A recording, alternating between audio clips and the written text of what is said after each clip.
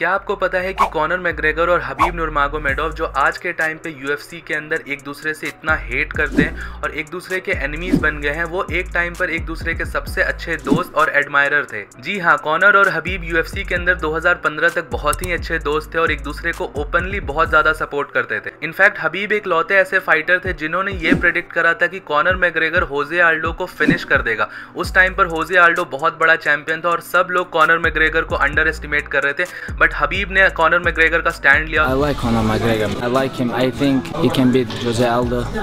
maybe finish him. और similarly Conor McGregor ने भी हबीब के अर्ली कैरियर में उनको बहुत ज़्यादा सपोर्ट और पुश करा था इनफैक्ट कॉनर मैग्रेगर ही पहले ऐसे बंदे थे जिन्होंने पब्लिकली ये बोला था कि हबीब चैंपियन बनेंगे हबीब लाइटवेट चैंपियनशिप जीत सकते हैं आराम से